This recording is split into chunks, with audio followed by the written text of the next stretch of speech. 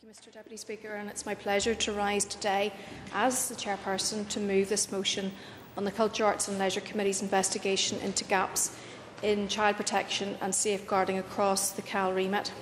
I would like to thank the other members of the committee and the committee staff for the considerable work that they have put into this important investi investigation report.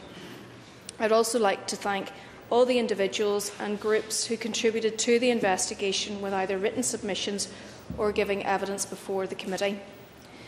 Mr Deputy Speaker, I'm sure that all members here this afternoon will agree that the protection and safeguarding of children and other vulnerable groups is a cross-cutting issue that should be a priority for all departments and ministers. And members will also be aware of my own personal interest and commitment in this matter. I welcome the fact that the Culture, Arts and Leisure Minister is here today to respond to the motion, and I'm aware that she and her officials have followed the evidence phase of the investigation closely and have contributed to it. It's also gratifying for the committee that the Minister's departmental officials have already undertaken actions in response to the committee's work.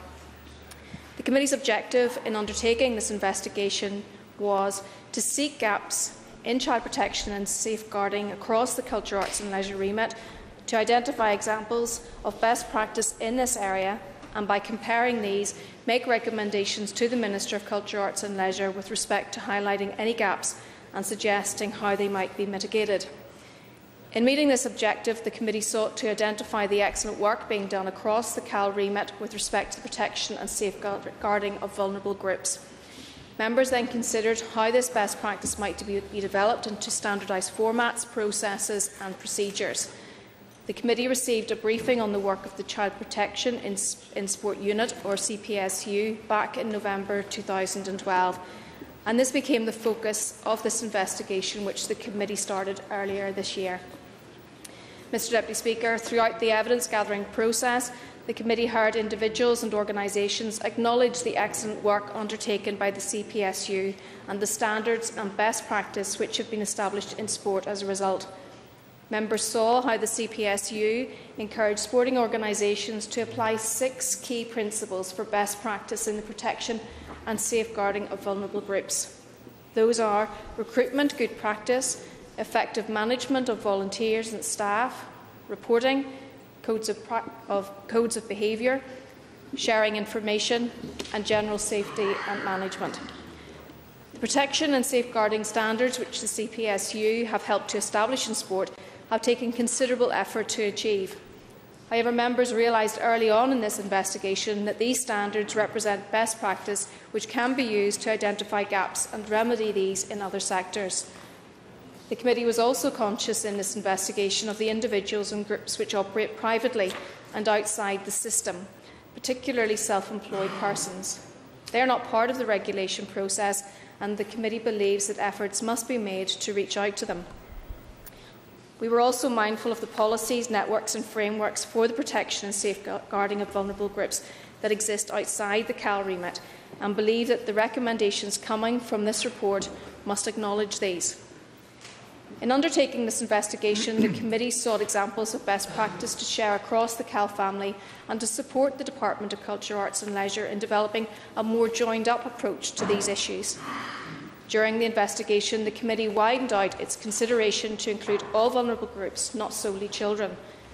The committee agreed to proceed with an investigation rather than a full inquiry so that the evidence gathering process could be undertaken over a more con condensed period and would be specifically focused.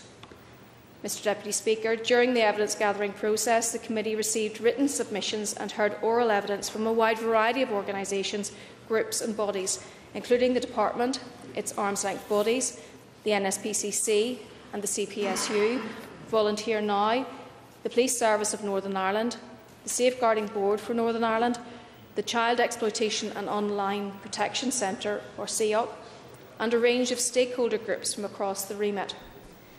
At the outset of the committee's investigation, the Department indicated that it would be a willing partner in the process and would give detailed consideration to the committee's findings. The committee looks forward to hearing from the Minister about how her officials will proceed. As I've already said, there are many private tutors and small groups operating across the CAL remit who are unregulated and unaffiliated. These individuals and groups are often unsure about protection and safeguarding issues, and the committee would like to reach out to them. Additionally, many organisations that are part of the system and have policies and procedures are still unsure as to how they should be implemented or applied, or would benefit from advice or guidance tailored to their sector. Again, the committee wants to find ways to reach out to them. Members are also concerned about the challenges presented to vulnerable groups, parents and teachers by the internet and social media, and would like to identify ways in which these challenges can be mitigated. The committee has heard a great deal through this investigation about the challenges and benefits presented by the internet and social media. Members are very keen that collective action is taken by the executive in a number of areas with reference to this, particularly in light of the tragic results of abuse and cyberbullying. The committee has recommended a number of measures to be taken forward in the CAL remit, but most notably a charter mark standard. Members believe that this standard has the potential to be rolled out across other sectors following a successful CAL sector pilot. There are already examples of this sort of charter mark, such as the IFA's Club Mark Northern Ireland. Such a charter mark would provide a brand for protection and safeguarding that could be awarded to organisations which meet recognised standards and best practice. It could act as a seal of approval, allowing parents and volunteers to know that an organisation has considered these issues and is managing them to a specific standard. Members have further recommended various forms of awareness raising around protection and safeguarding to publicise the sources of information and help available. As I've already indicated, there is a role for the executive to play in combating issues around the internet and social media. However, there's also a significant role for educating parents, carers, teachers, at risk groups, and young people in the safe use of the internet and social media. Another key issue of the, that the committee has considered during this investigation, and which has been emphasised by a number of contributors, is that of protecting the volunteers and others who undertake work with children and other vulnerable adults. Members believe that it is extremely important to ensure that these people understand how to protect themselves so that organisations which work with vulnerable groups can still attract staff and volunteers. Mr Deputy Speaker, returning to the excellent work of the CPSU, the committee has recommended that the department examines the idea of developing similar units in the arts and culture sectors. It's important that a successful model like the CPSU is replicated as part of the process of creating standardised protection and safeguarding of vulnerable groups.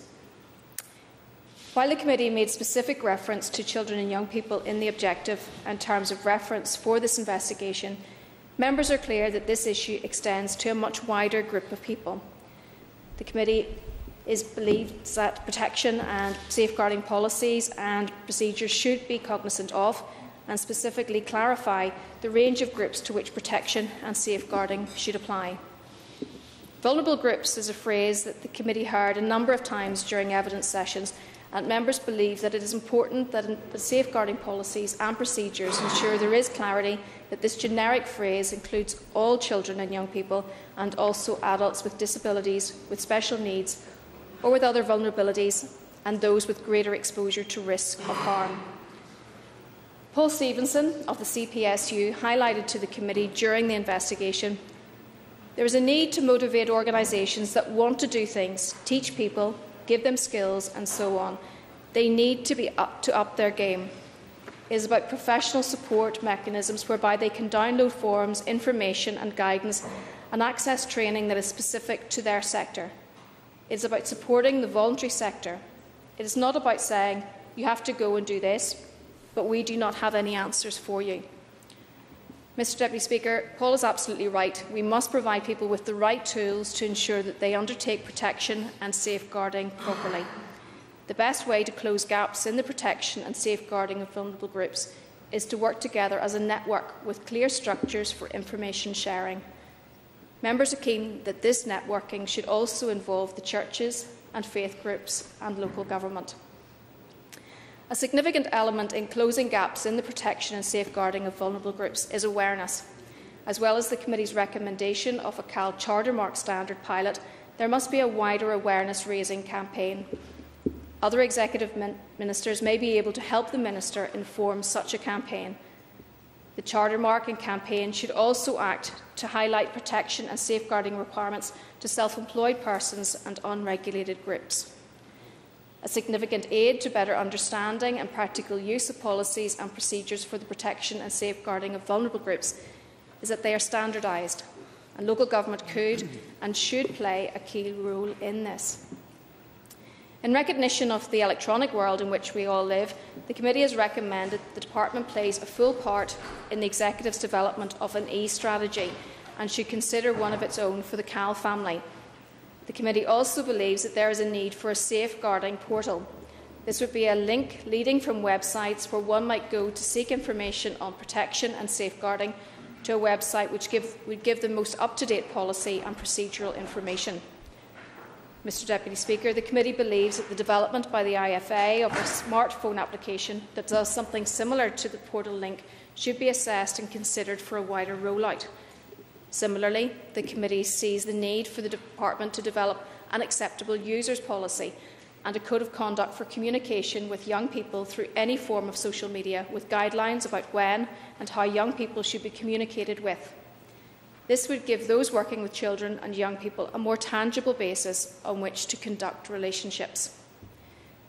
As a model of best practice, the Committee has recommended that safeguarding and protection of vulnerable groups is a permanent agenda for the Department's accountability meetings with the all, arm's length bodies. The Department must also hold records of any concerns regarding protection and safeguarding that have been raised with the ALBs and any subsequent action that is taken. Additionally, the Committee has recommended that the Department and relevant ALBs should develop a model for an audit of organisations within the arts and culture sectors, and this would examine the policies and procedures that bodies in the sectors have in place to protect and safeguard vulnerable groups. These audits should be taken forward as soon as is practical. The establishment of a young person reference group would give young people a voice in key policies and strategies, including the development of policies and procedures for protection and safeguarding. The committee would suggest that this group might work effectively on a virtual basis and could again be part of a charter mark standard pilot within the CAL sector. It's important that this group takes cognizance of existing frameworks for advice and cooperation and to avoid the duplication of work. The committee has recommended that the department takes this forward liaison with the Commissioner for Children and Young People should ensure that the group does not duplicate the work of other bodies and that it is plugged into appropriate networks. The committee gave a great deal of consideration to the position of volunteers during the investigation. Members believe that people can be put off volunteering um, to work with vulnerable groups, as protection and safeguarding policies and procedures can be off putting and intimidating.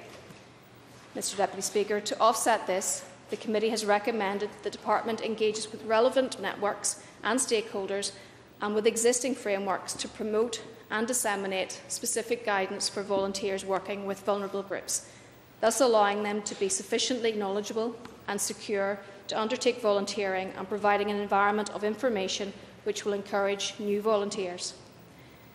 The committee is acutely aware that issues around the protection and safeguarding of vulnerable groups are very fluid and are constantly changing, particularly in the areas of internet and social media. And this is why members have recommended that training and retraining for those working with vulnerable groups within the CAL remit should be set within specific time frames, probably every two years, to ensure relevance. To underpin much of what the committee has recommended in this investigation, members have also recommended that the department establishes a memorandum of understanding with the SBNI or, if more appropriate, seeks membership of one or more of the SBNI's committees.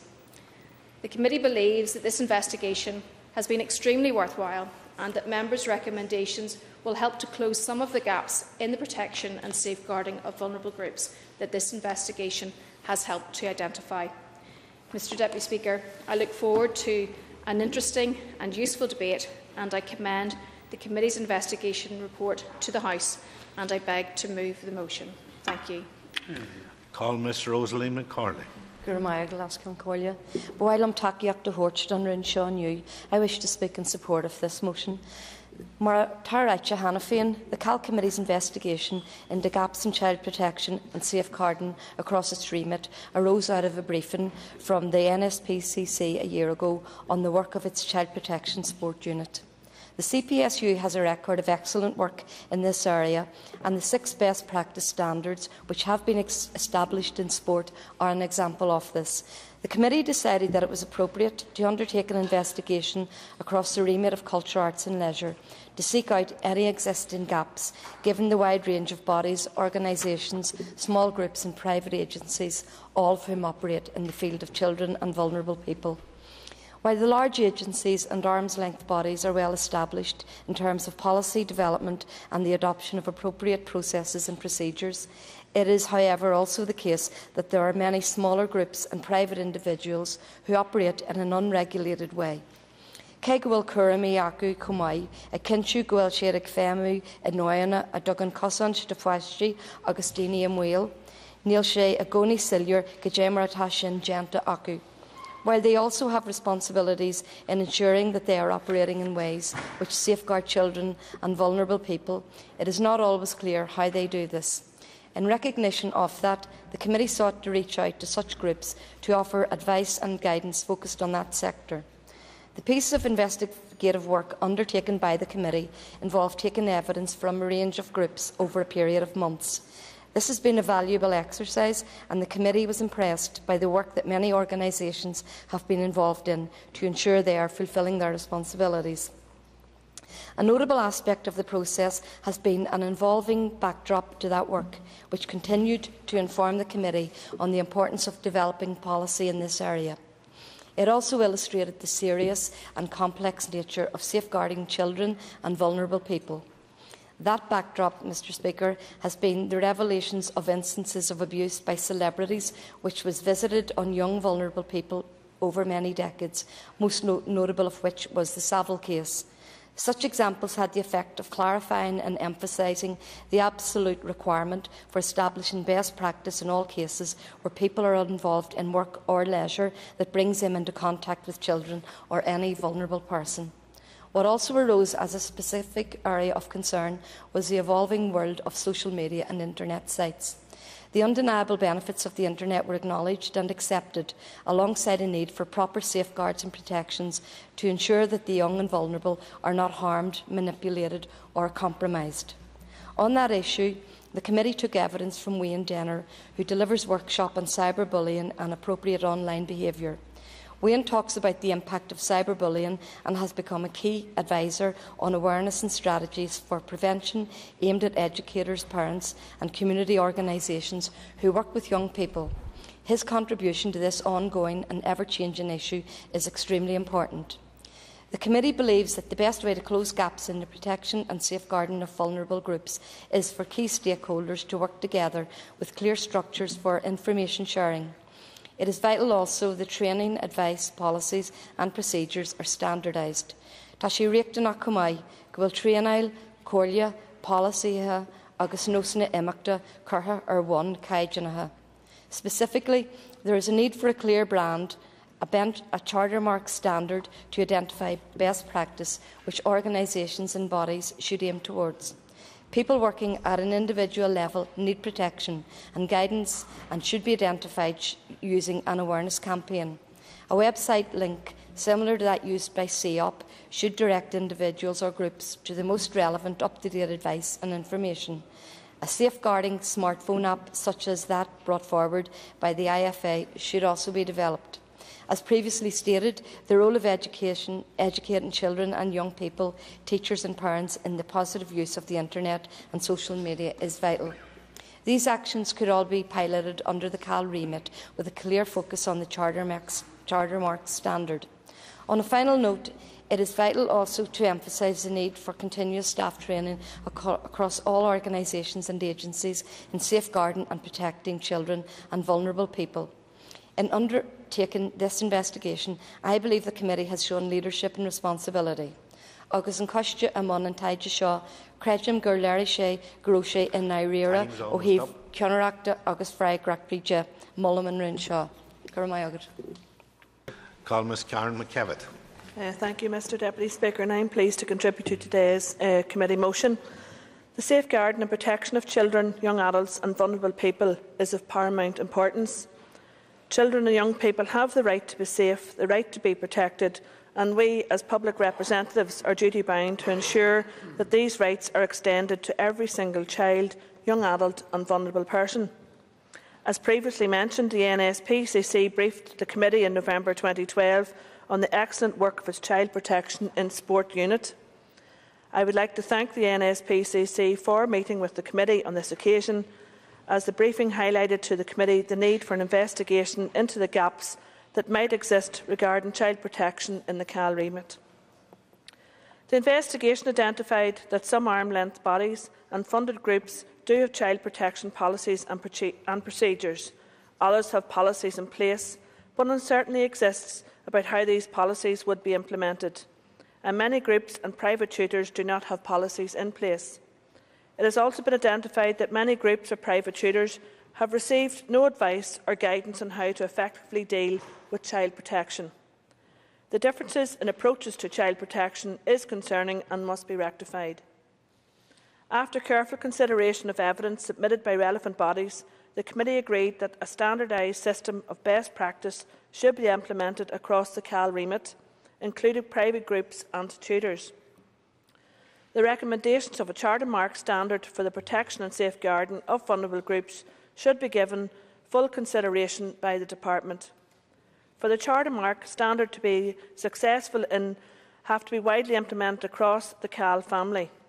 An effective awareness campaign should be launched and information on best practice standards must be readily available. I hope the Department will consider implementing the Charter Mark standard as a pilot, which can then be rolled out throughout various other departments. I must say that I recognise the Department's support for this investigation to date, and I am pleased to hear that this investigation prompted the Department to reinstate its own Child Protection Working Group. I would urge the Department to give due consideration to the NSPCC recommendation that a body such as Child Protection in Sport should be developed for the arts. Over the last number of years, we have seen an increase in the information of arts and culture groups, and I would ask the Department to support the creation of such a body in order to sufficiently protect all children and vulnerable people, as well as tutors, mentors and, of course, our volunteers.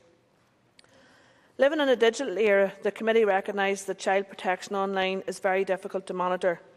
The recommendation of an e-strategy carries merit, and I would further propose that training sessions be offered to groups, tutors in public buildings, such as our libraries. A digital expert from my own constituency, Wayne Denner, previously visited the committee to speak about online safety. Specialists such as Wayne should roll out training on how to keep children, young adults and vulnerable safe when online. I would like to finish by commending the committee clerk, Peter Hall, and the whole committee support team for all their work throughout this investigation. We are very grateful to you. Thank you. I call Miss Anna Lo. Thank you, Mr Deputy Speaker. Uh, on behalf of the Alliance Party, I want to make a few comments on this comprehensive report and commend the CAL Committee for conducting uh, this very worthy investigation. Following the disclosure of sexual abuses perpetrated by Savile and other celebrities, with many reports not being examined properly by the authorities. We must learn the lesson in listening to what children and young people tell us and take actions to investigate allegations of abuse, regardless of who the alleged perpetrator is. I totally endorse the committee's view that the best way to close gaps in the protection and safeguarding of vulnerable groups is for all statutory and voluntary agencies, including church organisations, to work together as a network with clear structures for information sharing. The creation of the Safeguarding Board NI last year provides that type of coordinating platform where different agencies can work in a more coherent manner. I support the committee's innovative recommendation for the development of a charter mark standard to be piloted initially in the CAL sector. We have universal benchmarks such as investors in people. So why not a recognised brand for best practice in child protection? I'm sure the sector will welcome such an initiative, particularly as the report indicates it may be beneficial to the self-employed individuals who tutor music or coach uh, sports in a private capacity outside of any regulated structure. I agree with the report that the sports sector has established good systems in the protection of vulnerable groups over the years, and it is important that such good practice is extended to the arts and culture sector. And I therefore welcome the committee's recommendation that the department works with the Arts Council and other culture bodies to establish a model for an audit of organisations looking into the policies and procedures put in place within the sector. I also support the recommendation that the Department and all its relevant arm's length bodies seek to establish an equivalent of the child protection in sport unit for the arts and culture sector. The committee also recommends that the department engages with relevant networks to promote and disseminate specific guidance of volunteers working with vulnerable groups. I wish to take this opportunity, Mr Deputy Speaker, to pay tribute to the thousands of volunteers in our communities, helping in sport and arts activities. Without them, many clubs or organisations simply cannot function. At this point, I want to raise a concern from a constituent of mine who is a volunteer with a sports club. Whilst he fully acknowledges the importance of knowledge for volunteers and he himself has completed all the necessary training courses, he is concerned that some organisations, including some sports governing bodies, are refusing to recognise the generic Keeping Children Safe course provided by, uh, uh by YouthNet and other uh, as being the adequate requirement for volunteers.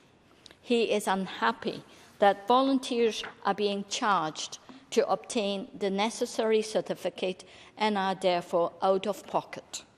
He believes this should not be the case. According to my constituent, what seems to have happened is that a cottage industry, as he calls it, uh, in training volunteers, has developed with a lack of central regulation. I understand he has made inquiries with the Safeguarding Board, but was told that the board is powerless to oblige organisations not to charge for training. Perhaps the Minister could shed some light on this issue later on in the debate. I support the motion. Thank you. Call Mr William Humphrey. Uh, thank you, Mr Deputy Speaker. And as colleagues have said, um, in December 2012, the DCAL Committee agreed to conduct an investigation into the gaps in child protection and safeguarding across the culture, arts and leisure remit here in Northern Ireland.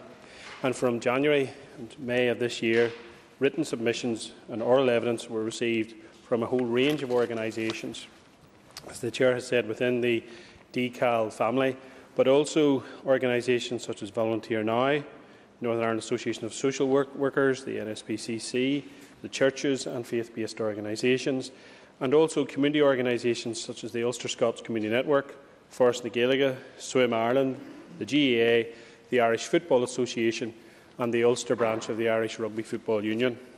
And therefore, a huge wealth of, of information comprehensively given is now available to the committee. This piece of work followed the committee's briefing from the NSPCC in November 2012. And I have to say, in my view, as someone involved in youth work, I think it's invaluable for government uh, and for the, for the people of Northern Ireland involved in youth work and youth provision. At this point, I should declare an interest as a member of the Scout Association and, and President of West Belfast District Scout Council. And I would pay tribute to people who are working across our community in terms of the Boys Brigade, Girls Brigade, Scouting, uh, guiding, youth clubs, sports clubs, church organisations right across Northern Ireland. We hear politicians on the mainland talking about this big society. Those people are involved in delivering the big society, and many of them at their own cost and to their detriment. And I am concerned, as someone involved in a youth organisation, that we are putting people off becoming volunteers and getting actively involved. And it's vital, therefore, that we protect those people who want to become practitioners on a voluntary basis, but also protect the young people uh, from uh, allegations and from abuse. Whether that abuse and those allegations are involved in state institutions, youth organisations, churches, care homes, sports and youth clubs, or indeed in the home. Mr uh, Deputy Speaker, for a time I served on the OFM DFM committee, and I met with people who were involved in terms of the abuse they received in the uh, institutionalised uh, uh, abuse cases. I spoke to Margaret McGuckin, who leads that organisation of victims, and I spoke to some of her colleagues. And some of the stories that they told me in my office were absolutely harrowing and terrifying. That young people were subje subjected to such evil. Stories of cruelty that were just beyond belief. We must do, therefore, all that we can to ensure that such evil is prevented in future. Mr Speaker, I also serve in the Justice Committee and you will be aware that the human trafficking bill is coming forward. Again, we need to ensure that Lord Morrow's bill is being scrutinised by that committee is there for protection of young people and the vulnerable within our society here in Northern Ireland and across the European Union. I have to say I am concerned that his bill and other protections for young people and those who are vulnerable in our society will not be uh, as protected in Northern Ireland as they perhaps are in the rest of the United Kingdom due to the failure of the National Crime Agency not being fully extended and deployed here in Northern Ireland. The refusal of Sinn Féin to fully support the NCA and the SDLP's objections uh, in, the, in the grounds of accountability will, I believe, in my party's view, leave young people in Northern Ireland more exposed and vulnerable than their counterparts in the rest of the United Kingdom. And I urge these two parties to reconsider their positions. Mr Speaker, in March 2013, Mr Peter Davies of CEOP uh, came and spoke to the uh, committee. Mr Davies advised the DCAL committee that he had the lead position in terms of the Association of Chief Constables on protect, child protection and investigations for England, Scotland, Wales and Northern Ireland. During his evidence, he advised that it's increasingly difficult to distinguish between online and offline threats. He also outlined that he believed that the definition of child exploitation, he stated, is about vulnerability meeting power. Vulnerability on the part of the victims, power in terms of those who are sexual abusers. In terms of the strategy, CEOP talk about prevent, protect and the future. In terms of combating abuses, resources are the key, Mr Deputy Speaker, and it's vital for organisations tackling these issues come together, pool resources, share information and expertise, and the political ideologies are set aside in protecting children and vulnerable people, and the NCA Members needs to be extended to Northern Ireland for the protection, the maximum protection of our young people, the most vulnerable people in our society. Thank you, Mr Deputy Speaker. Mr Cathal Ó hOisín. Gurmagat uh, uh, las can Coria agus tamí inta agus sasta an an is a an ag. I'm very pleased and happy to be speaking on this matter here today, probably the most important subject that has come before the committee to date. The motion is in foot of the investigation on gaps in child protection and safeguarding across the CAL remit, but has been stretched in part to represent those covered by the generic phrase vulnerable groups. The committee agreed in December 2012 to investigate gaps that did exist, and the investigation was later widened out, and this is to be welcomed. The committee did receive representations during the investigation from our arm's length bodies and many other organisations and individuals in the sector. Another major concern for which there has been limited discussion on is the relatively new medium of the internet and social media. This presents particular identification procedures and mitigating measures. It also challenges all who deal with children and the vulnerable to be aware of an ever-moving target. OFM, DFM are engaged across the executive to look at particular aspects pertinent to carers, teachers, parents and at-risk groups. And this must be supported by better uh, evidence and information. The excellent standards that do exist, particularly within the child protection in terms of Club Maith for the GAA and Club Mark in rugby and soccer, must be replicated across the board, avoiding duplication, and we uh, encourage the Minister to instigate this.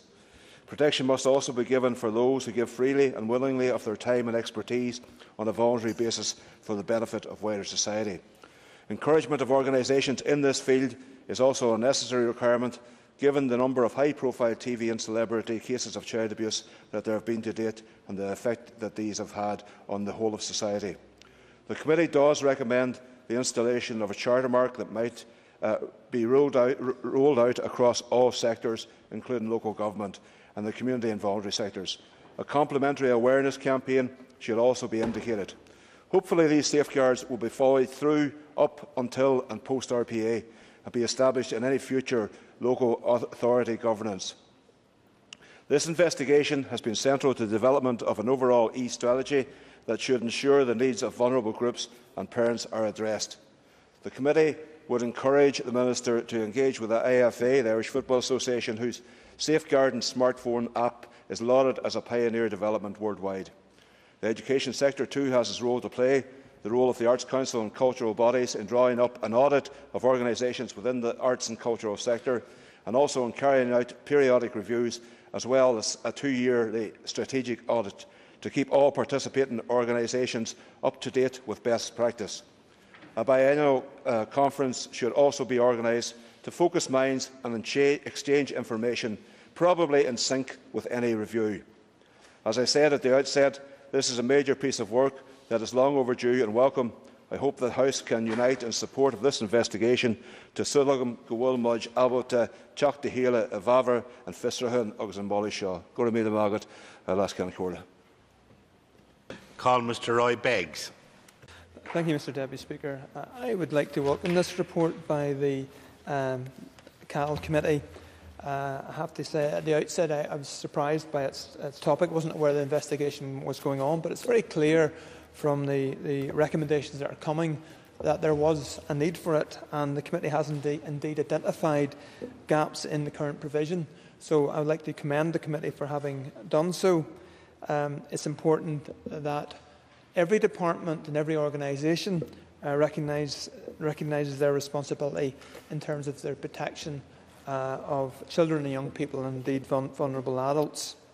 So I therefore welcome some of the uh, uh, recommendations that have come forward. The uh, proposal that there would be a, an awareness campaign for those working particularly in, in, the arts sector must be welcomed to ensure that people are fully aware of, of their responsibilities. I see also in terms of those who are working as self-employed in the area, uh, again, sometimes uh, small groups can forget that the responsibility falls with them. And when someone who's self-employed comes in, uh, it's important that they uh, are adequately uh, trained and regulated as well. Uh, and sometimes that aspect can be overlooked. So it's right that this aspect is highlighted. I would ask the Minister to uh, um, um, investigate as to how uh, those who may be working with multiple groups can be uh, facilitated in, in, a more efficient manner. Um, because there is some practical difficulties in declaring interest uh, myself as a, a, BB officer and a member of the Carrickfergus Community Drugs and Alcohol Advisory Group. I had to go through two different sets of child protection assessments, just as many others in the community have to. And it does seem to be bureaucratic that having been cleared, that even perhaps within weeks you would have to submit another fresh application when the same criteria is assessed uh, and an assessment of someone's suitability is, is determined. Uh, I would have thought we do need to move towards uh, a degree of individual assessment, which could be a passport, provided that's checked up uh, in a reasonably short period. But particularly if you look at self-employed persons who, who, are maybe working in this art sector, uh, they may have to go through uh, clearance with each individual group that they may be working with, unless uh, sorry, sorry the, unless the group was actually facilitated was from someone who is already cleared and to agree who can supervise them whilst they would be working. So that would be a very practical uh, uh, barrier that would exist and uh, a positive suggestion, I, I, believe, in terms of improving uh, uh, the facilities. So I, I'm pleased that the committee has carried out this investigation and highlighted some of the difficulties in the area and hopefully improvement will occur as a result.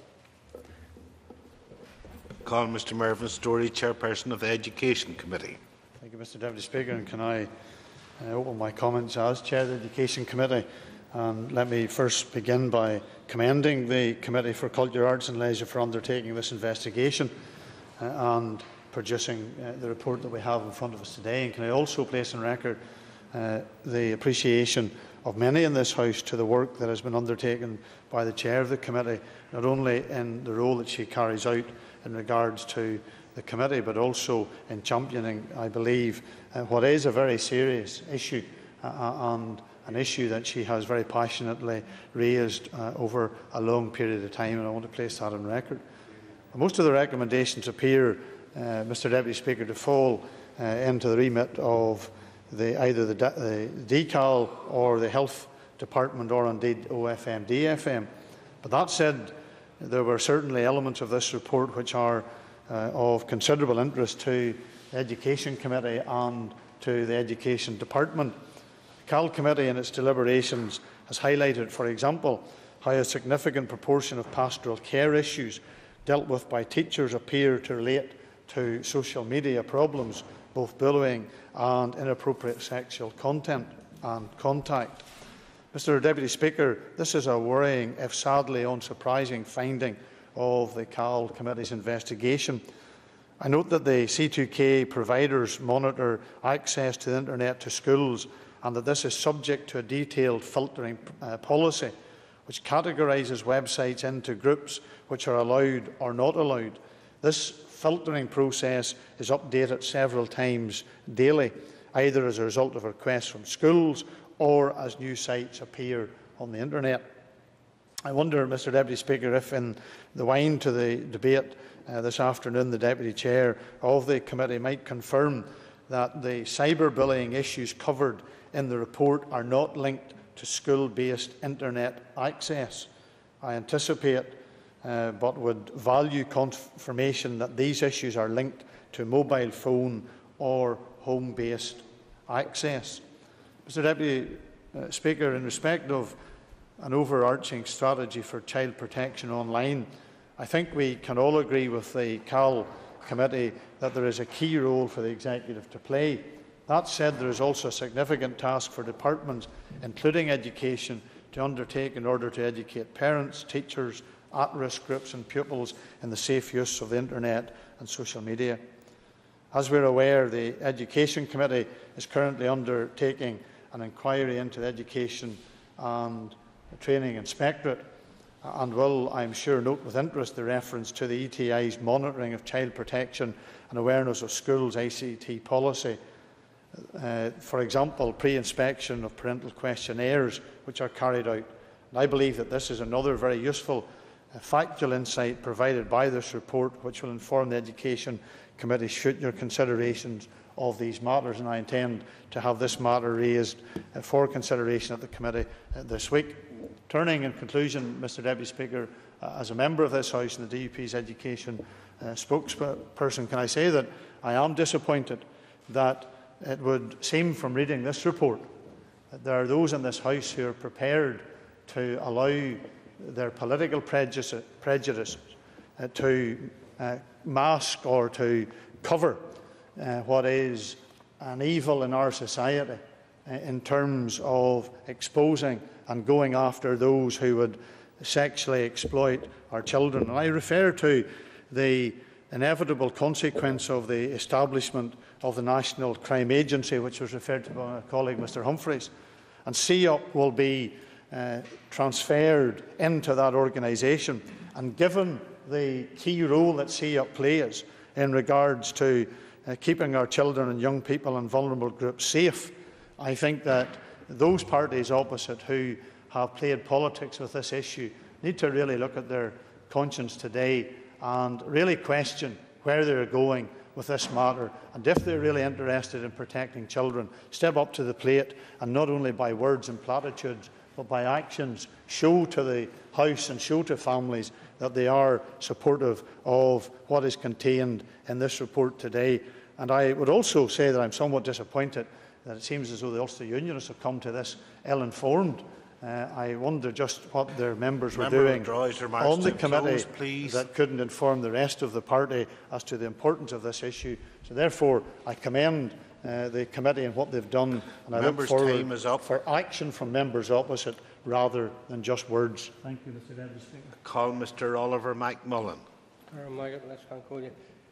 At its meeting of the 13th of December 2012, the DCAL committee decided to conduct an investigation into gaps in child protection and safeguarding across the DCAL remit.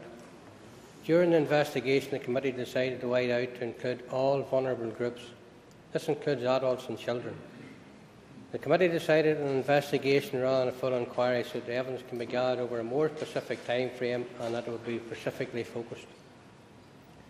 The evidence presented to the committee, both oral and written, oral evidence came from a wide range of groups, including DCAL's, arms, defence bodies, including Sports NI, the Arts, NSPCC, uh, etc., and from other groups such as uh, GAA, Ulster Scots, Rugby, and football. But as the evidence was being gathered and presented to the committee, it became very clear that the quality of both the written and oral evidence was varied and of a very good standard, but at the same time it was clear that not everybody was working with the same policies and standards, which the committee agreed presented a major problem. Another vitally imp- important part of the investigation centred around vulnerable groups. This section dealt with, with children and adults who have disability or special needs. And it was clear from the presentation the majority uh, of those groups that accepted the title vulnerable groups within their own policies, but in reality, when they were questioned at the committee, could tell very little about comp- the complex needs, the, com- uh, uh, complex situations, and, and, and, the vulnerability of those uh, children and adults within vulnerable groups. And this uh, is, a, is, a, major gap because there's no sense accepting accepting one title uh, uh, within this this whole evidence gathering if we don't know exactly what we're talking about. Councils play a major, a major part in communities, especially in the rural areas and in the protection of vulnerable groups. Their premises, more than anybody, are used by thousands of vulnerable children and adults and groups that take part in council organised events. But councils also lease their premises to groups and individuals that run activities for both vulnerable and able bodied adults and children. Therefore, it's vital that their representative body, NILGA, make sure that all councils can implement the same good protection and safeguarding policies, not only for themselves, but also for those who rent or lease council properties to run events that would include the disabled. The committee recognised that the department has no remit with local government but sees RPA as a golden chance to have this imbalance changed. And no better time now to do that. I, I, I spent 23, 24 years in local government, and in reality, I never saw the policies changing. Staff and st- staff, no, no, I'm nearly finished. Staff and management in these premises also need to be brought into line. It is known that around 80% of council staff have contact with the public. Once staff are vetted and cleared to work, it is unfortunate that there is little or no formal ongoing training to allow them to recognise and deal with vulnerable groups or individuals and as far as their complex needs or behavioural problems. We have cases in the past where uh, children with behavioural problems are actually being asked to leave premises because they're disruptive. This is because those dealing with that did not know the complexity of that child or individual. And would have to ask when a group applies books, uh, books a facility within a, a, building, how many times is management asked for the, complex, complexity of the needs of those children or adults that are coming in? This again, I see this as a gap. It was after listening to the evidence that the committee recommended there should be one policy or charter mark for everyone, and this to be introduced by the Minister across the department and when successful should be implemented through all the departments and their armed defence bodies, including, including councils. But can I say that I, I was disappointed here today that the, the, the word of politics was mentioned of, of, the, of ourselves here. Uh, it indicated that we were playing politics with this. That's sad because in the whole in the whole uh, inquiry through the uh, DCAL committee, politics never once raised its head. Member withdraw his remarks. And I think it was a very cheap shot at those people who are who, who are vulnerable, and we should uh, we should be doing all we can to help them. Where am I? Call Mr Dominic Bradley. Cumíle mai agat a leas chu cóile agus íriamsa ar an óáid seo le le taíocht a thuirt don rún. Fáiltíam rih an ara an seo nniu agus tá cinse go mé jabal de dul chun cin táhachtach a dhéanú ar er an ceist airithe seo. Fáiltí am fásta ri bhailtú na tuaisce seo ar na barnaí atá an na gosúint leanaí daoine goúnacha agus daoine óga sna hagraíachtaí a tafaí cuam na rinne cultúr aliena agus fóliachta. E. Thank you very much, uh, Mr Deputy Speaker. I rise to support the motion and welcome the publication of the committee's report into the gaps in child protection and safeguarding. And uh, I thank the committee staff for all the work that they have done in uh, compiling the report, uh, which is based on evidence given to the committee uh, over the course of the last year or so uh, from a wide variety of organisations.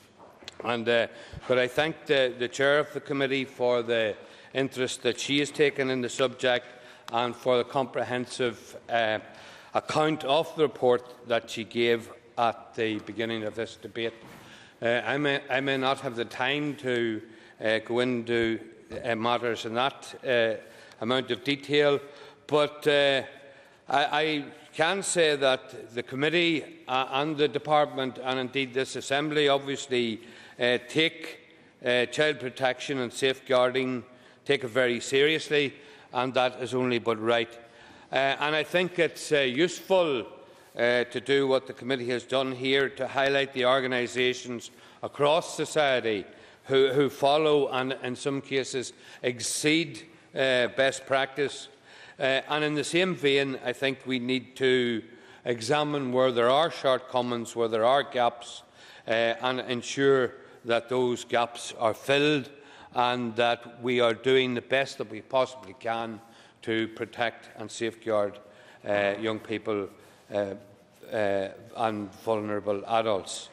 Uh, the report obviously highlights the gaps and it does, uh, in response to that, make useful and significant recommendations uh, which the committee wish to see the department implement. Uh, any community organisation or sporting body or organisation who works with children and vulnerable adults uh, are all aware of the stringent requirements placed upon them to ensure child protection uh, and safeguarding are of the highest standards, and that's only but right. Uh, the report sets out a process where we can ensure that those standards are not only met, but also benchmarked across all the sporting and cultural organisations uh, which come under the Department of Culture, Arts and Leisure. Uh, and the report suggests that this can be best done through the use of a charter marking system. Uh, the report does highlight the good work of the GAA in Ulster through the Club Maith programme uh, and the IFA through their Club Mark Northern Ireland programme. These organisations have set the bar high and they have set a standard for others to fo follow. Uh, we must uh, commend them for doing their work and recognise their standards. However, we cannot become complacent. Uh, the areas of work, the range of areas of work set out in today's uh, re report uh, for those in non-sporting field which are funded and who work to the uh, Culture, Arts and Leisure Department uh, are important also. Uh, whether they are small groups, uh, organisations as big as the GAA or the IFA, uh, or indeed uh, the um, self-employed individuals who do not fall directly under the regulations, it's important that we expect the highest standards from everyone. Um, I hope that the department will lead the way. We need to offer help, support and guidance uh, to ensure that we reach the highest of standards and we must professionalise the way we approach the protection of children. And the Chair referred to the quotation from uh, Paul Stevenson of the CPSU. Uh, I, I, will not, uh, I will not reiterate it here. Uh, but in the end, I welcome today's report and join with all others in the House.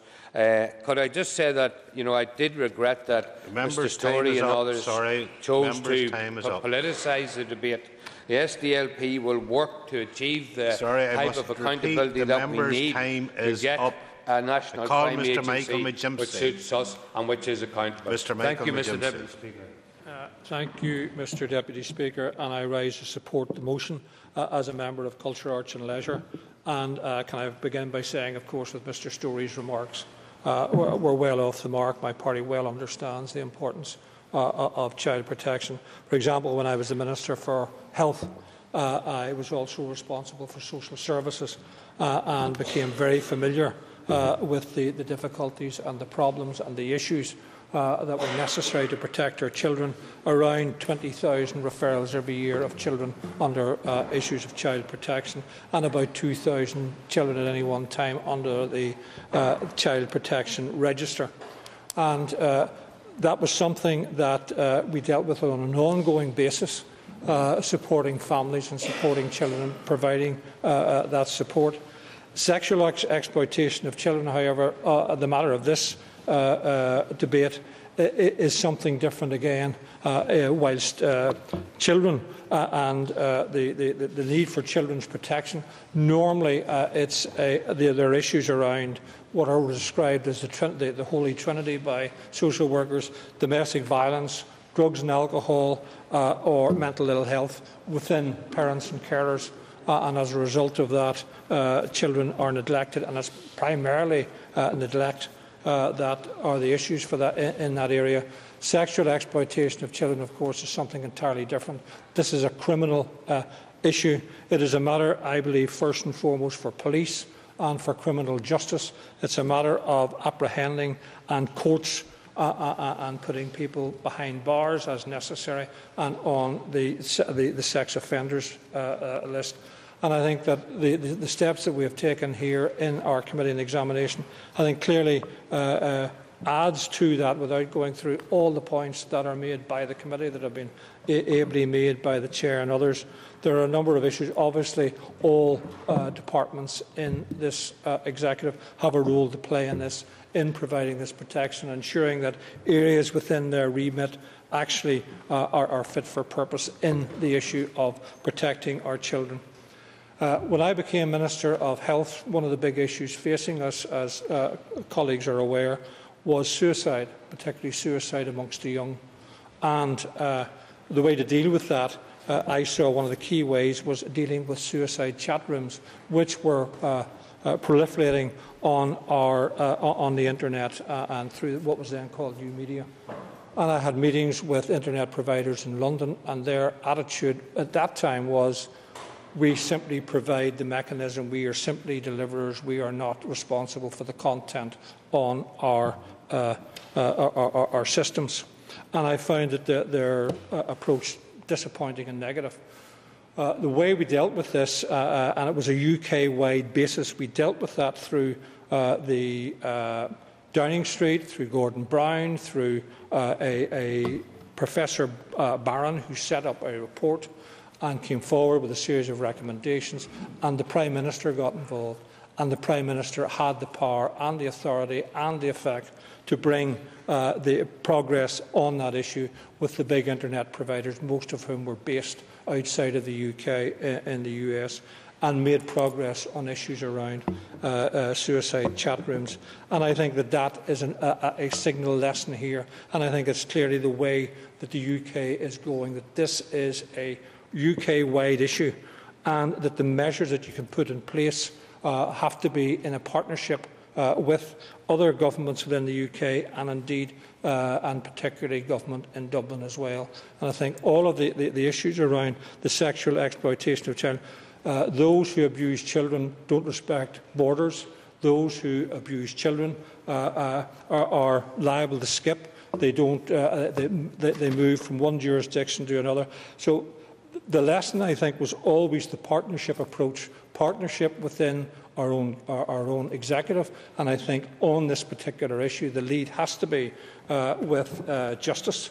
Uh, because this is first and foremost a criminal issue, a matter for police and courts, but it is also a matter of all other departments within uh, uh, the executive working together to ensure that we prove or proof as far as we possibly can uh, that the environment for our children.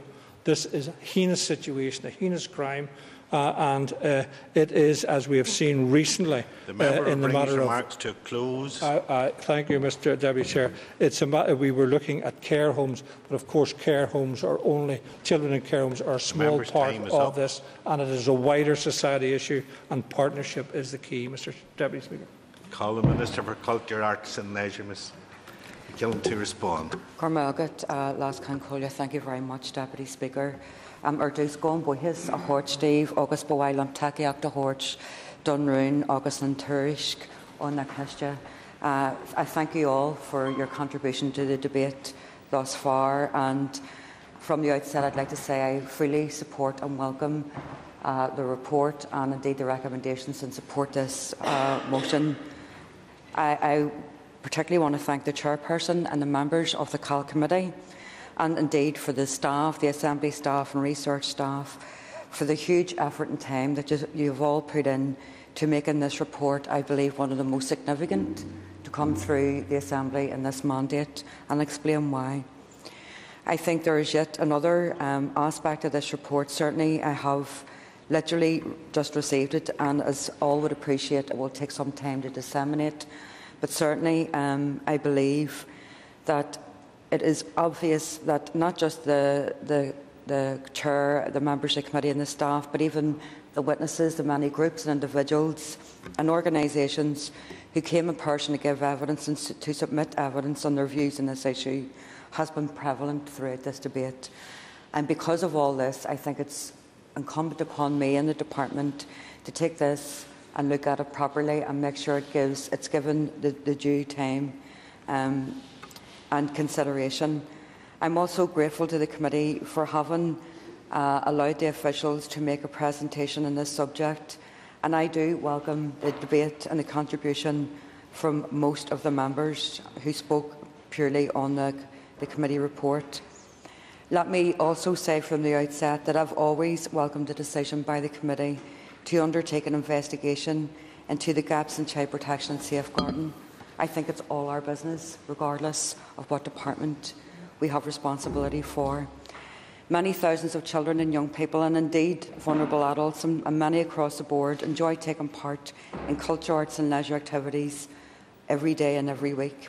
And we know that parents appreciate, I as a parent and as a grandparent, also appreciate how much support, and it is important that such participation is for a child's health and personal development.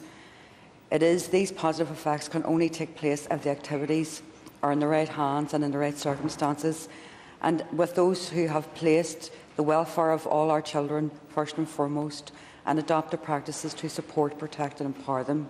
That is why it is important that all these activities take place in an environment where our children and young people and adults are safe from the possibility of any form of ill treatment or abuse.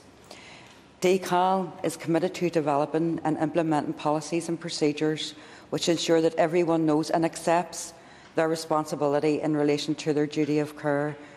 I am committed to ensuring that there are correct and comprehensive reporting procedures that promote good practice and sound recruitment measures for all individuals working or volunteering within this sector.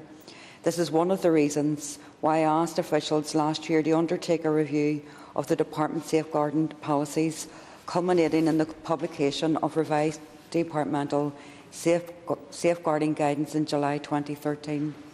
It should also be noted that although DCAL rarely provides direct services to children, some of the functions and those of many of our partner bodies involved in contact with children and young people that has been raised throughout, particularly in reference to the ALBs. Very briefly, I appreciate the Minister giving way. But would the Minister agree with me that the, the key thing in this issue is a balance?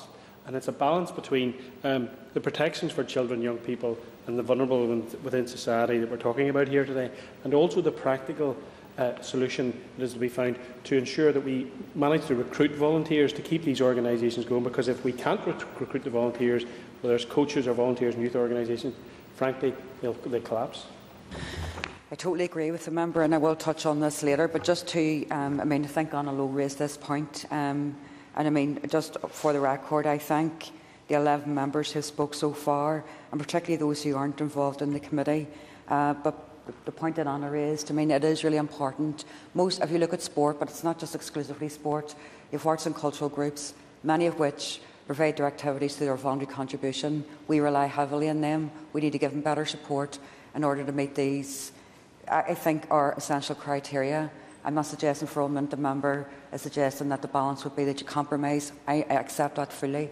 So we need to make it easier and we need to make sure that people accept the, the, the, the essential criteria in providing these activities uh, and that they support it in doing so. And if the, Anna in particular has any details that she'd like to share with my officials, my door's open at any time. Um, it is important that we, that we do uh, look at the safeguarding guidance that, and I think that's what the member's getting at, that has been comp compiled to support our partner organisations. It seeks to establish best practice in the area of safeguarding, not only within our ALBs, but also extending, to, extending our influence across the wider culture, arts and leisure sectors. One way in which we can extend this influence is through the distribution of public funding or the commissioning of services for children and young people and this guidance requires organisations seeking such support to have robust and effective policies and procedures in place which safeguard and protect children and vulnerable adults.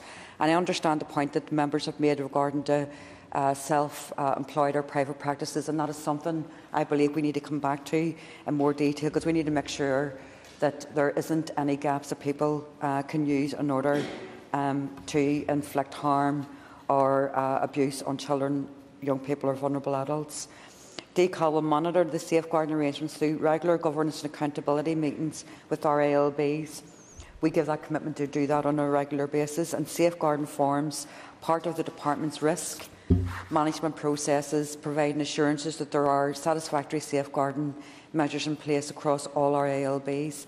In addition to these governance measures, DCAL has previously commissioned the Education and Training Inspectorate, ETI to undertake a review and follow-up inspection of the child protection arrangements uh, in the sample of our ALBs. The inspection report found the quality of safeguarding arrangements in all of the sponsored bodies inspected to be satisfactory. It would be our aim to make sure that that's much more improved. But what about the, the individuals, as, as, as, I mentioned earlier, working excuse me, or volunteering in the sector that fall outside of our influence? I think it is important, uh, and that members are conscious of this, that we need to be mindful of the remit that, that DCAL extends to. However, I think that I accept the point that members are making in terms of looking where, where gaps may prevail. I would also welcome the fact that the committee in its report appear to have considered and recognised this as an issue. I also see that there are recommendations aimed at other government departments and indeed local government. And as the members are aware, the Office of First and Deputy First Minister has strategic overall responsibility for children and young people in the North, as does the Department of Health, uh, Social Services and Public Safety is the lead department in terms of vulnerable adults, but it is everyone's business. And Michael McGimpsey pointed out that he believes that justice should lead in this. I understand the member's concern, making sure that there's a standardised approach to this. But I am making a commitment that I will talk to my executive colleagues, meet with my executive colleagues on the basis of this report and subsequent recommendations to see what we can do to make sure that all the good practice, even going back to the last mandate, and the example you give around suicide prevention is an excellent one. We need to make sure we do all we can to you know, make sure that, first of all, the, the vulnerability of children and young people is decreased and that we provide the best possible protection for all. I would also say that this collaborative approach is essential. I, take one of the key recommendations in the report, and this is one which refers to the charter mark. I understand it's not a new concept given the Department of Health uh, uh you know, looked at uh, the PUCFA uh, accreditation scheme, and there's also schemes and others um, as examples, but I do believe we need to work towards uh, a charter mark or a recognition that certain um, the best possible standards of child protection have been undergone by groups. At, I think that's for parents, guardians, grandparents. You know, expect least to see when they're trusting your, their, their children's safety uh, with others. It is a complex issue, and what it does highlight is that it demonstrates, again for me, the need for a collaborative, collaborative approach. I also see from the report's recommendations that my department has already made progress on, and others offer the opportunity to work with the RALBs and partners to enhance current arrangements, and I welcome that. I hope um, I would just like to repeat again that I do believe that this is one of the most significant reports coming through. I believe that the protection of children and young people, and indeed the protection of vulnerable adults and individuals who are vulnerable, is something that we can't do enough of. And rather than just uh, using words, I'm really um, excited about the potential that we collectively across the executive can close gaps, implement where possible the, the committee reports, perhaps even strengthen where possible some of the other recommendations. But certainly I'll be bringing this back in early January with a detailed response. I'm delighted that most members recognise the importance of this debate and indeed of this report. I believe it was a pity that at least two members chose to make party political remarks, one of which is a DCAL committee member. Uh, and given the importance and the commitment that I am placing in this report and this debate, I believe it was crass, totally crass. Uh, I think the remarks from the chair of the Edu Education Committee um, were regrettable and very disappointing. I'm glad the DUP's class clown has left the Assembly. I believe it was totally unbefitting of this debate. I really can't understand how or, you, order, order, how please, you, order, please. I would remind the minister and all members to be very careful in how they describe other members. I appreciate that. I, re- I withdraw the remark about the class clown. But what I would like to say is I can't, for the life of me, understand the commitment that the chair of the committee and the commitments she's had over previous years around safeguarding around children's issues allowed that to sully this debate. I believe it was an inexcusable move that she's done. And given the nature and the severity of this uh, committee report, and given the importance of this debate, I, I, think it's totally disappointing. But with that said, I support the motion, support the recommendations in the uh, committee report, welcome the, the contributions that the members have made, believe that most, if not all, made them for the right reasons, and look forward to rolling this process out in the future and hope that we can use this report to work with other executive colleagues to strengthen what I believe is one of the most important issues that we all face and the challenges that we face, and that is the protection of children and vulnerable adults. Thank you. Order. As question time begins at 2 p.m., I suggest that the House takes its ease until then. This debate will continue after question time, uh, when the Deputy Chairperson of the Committee, Mr William Irwin, uh, will conclude and wind up the debate on the motion. Thank you, Mr Speaker. I rise as the Deputy Chairperson of the Culture, Arts and Leisure Committee to support this important motion. I'd like to start by thanking the other members for their contributions today, to today's debate. I'd also like to join the committee chair in thanking the Minister for responding. As has been said by so many members today, this is an extremely important issue and it cuts across all departments.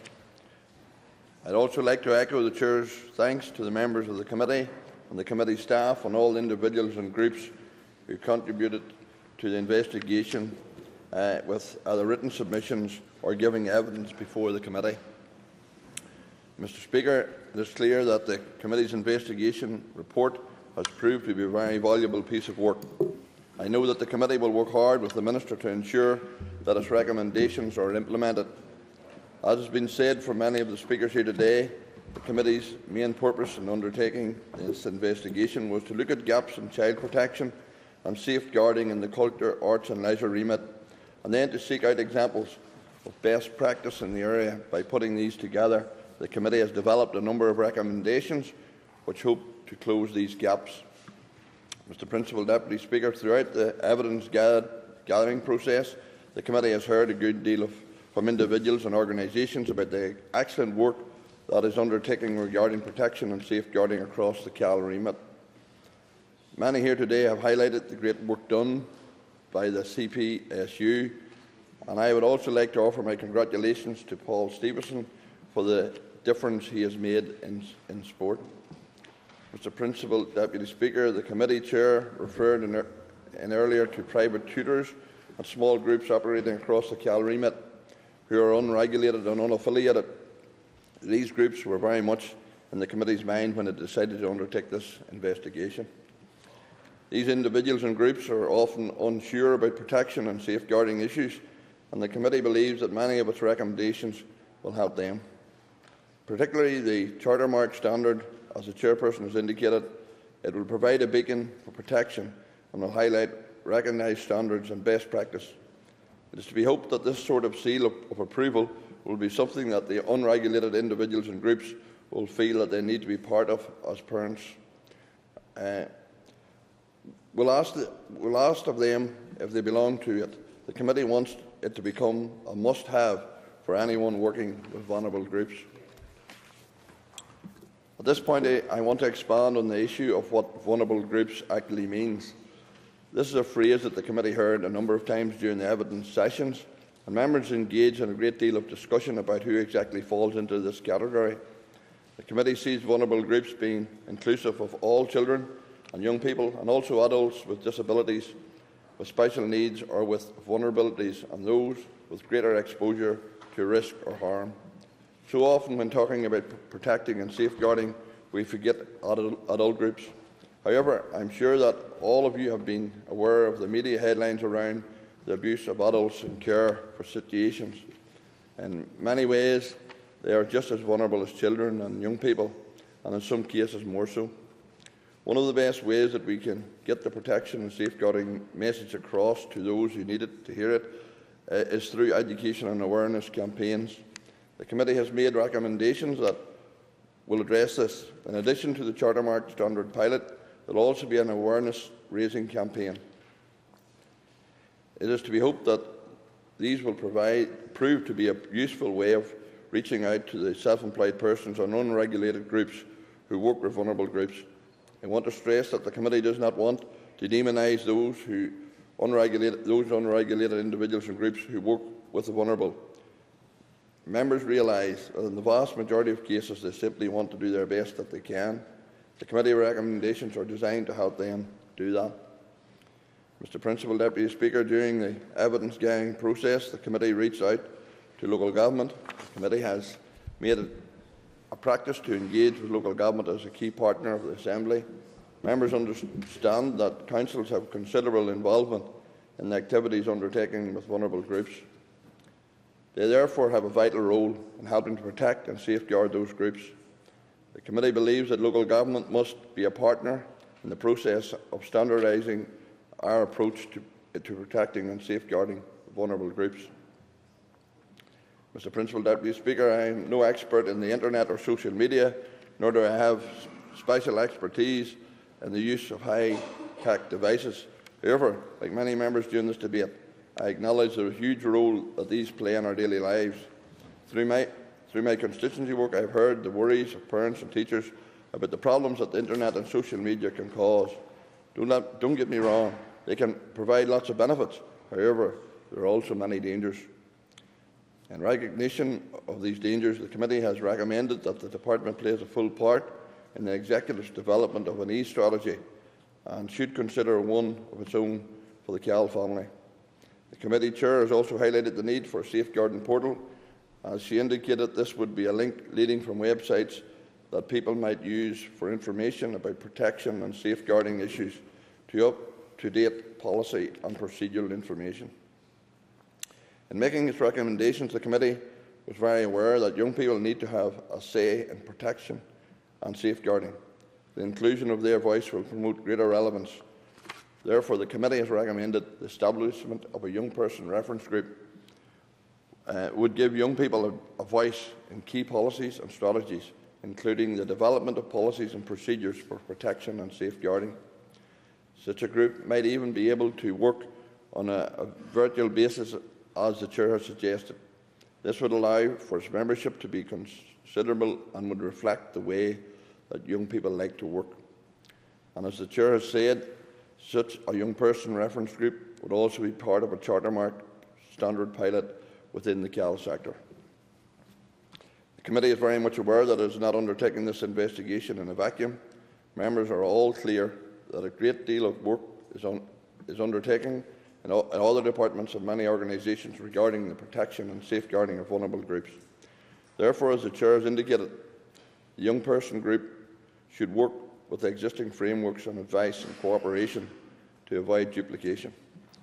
It is to be hoped that the Committee's recommendation that the Department liaises with the Commissioner for Children and Young People regarding the establishment of the reference group will mean that it does not duplicate the work of other bodies and that it is liable that it is able to work closely within the networks.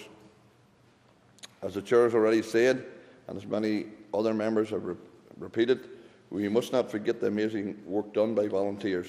We must also ensure that volunteers do not find protection and safeguarding policies put them off the great work that they do. The tremendous volunteering that went on during the recent World Police and Fire Games provides a wonderful example of how vital these people are uh, to many activities. Many of the things that enrich the lives of vulnerable groups would not be possible without the help of volunteers. We must ensure that they are protected too. Mr Principal Deputy Speaker, we must ensure that volunteers are always kept in the loop, receive the best and most up-to-date training and retraining that we can provide, knowing the correct policies and procedures and having a clear idea where they can go for information and help uh, will allow them to feel more secure as they undertake their important work. We live in an ever-changing world. Technology is constantly moving on, and ideas of protection and safeguarding are too. This is, particularly true, this is particularly true with regards to the internet and social media. It is difficult to keep up with the latest trends and gadgets on popular social media sites. Parents, teachers, and carers often feel confused about how best to protect those they look after from the negative aspects of the internet and social media the inevitability of information and regular training. The availability, of information and regular training is the best way to ensure that we don't fall far behind our young people. The quality of the debate today reflects just how important the committee's investigation has been. However, this is just the beginning. These issues do not stand still, and the committee looks forward to working with the Minister and her department to ensure that those who are vulnerable in our communities get the best protection that we can give them. Members uh, made a number of very useful comments during the debate, and I've decided uh, these. Uh, I have divided these into broad uh, into broad themes: uh, the charter mark standard, coordination and standardisation, internet and social media, and impacts on volunteers. Many of the contributors today agreed that the development of a charter mark standard for protection and safeguarding is an excellent idea that deserves further consideration by the Minister and could be developed in such a way that it is transferable to other sectors beyond culture, arts and leisure. Anna Lo described the charter mark as an innovative idea and the Minister considers that it would be a best practice standard that organisations aim for. Members are very supportive of the Committee's recommendation of an awareness raising campaign to accompany a charter mark pilot.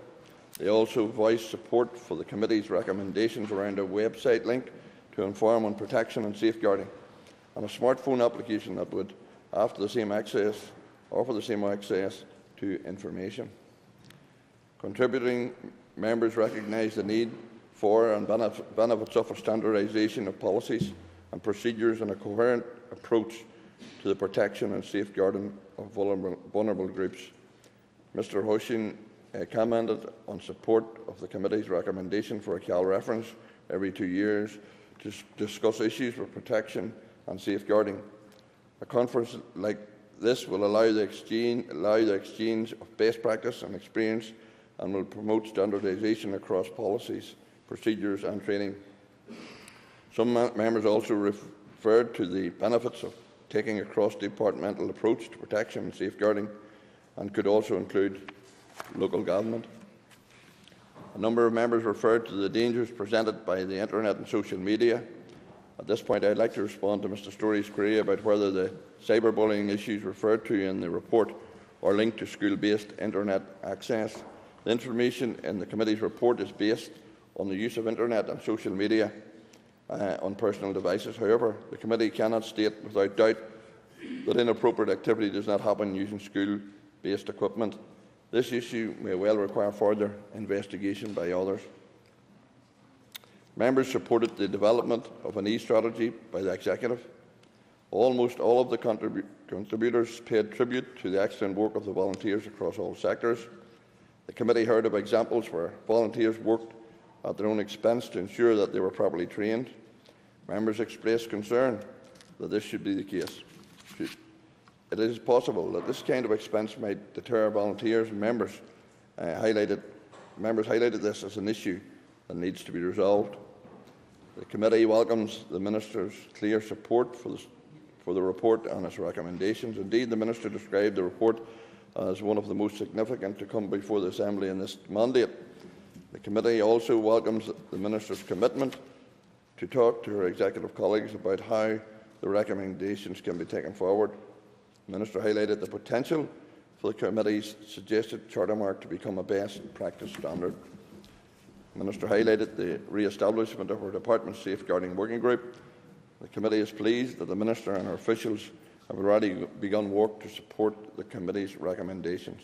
Once again, Mr Principal Deputy Speaker, I'd like to thank the Minister and all the members who have contributed to the debate today. I support the motion.